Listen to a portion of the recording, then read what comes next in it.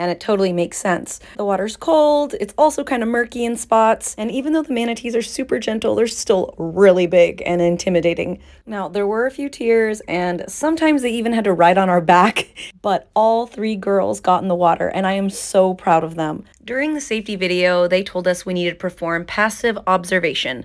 Okay, cool. We snorkel, we watch the manatees from a distance, but what happens is the more still and quiet you are, the more they approach you especially the little baby ones. Here's a few tips if you want to take your kids. Even though there's no minimum age for this experience, I would say make sure they're comfortable swimming and wearing a snorkel. They are also required to wear a wetsuit, so if they're smaller than a size 6, you might have to bring your own.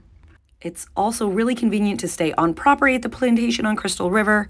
It was so nice to take a dip in their heated pool and hot tub after we were freezing cold. I also suggest bringing lots of layers for when you get out of the water, socks too.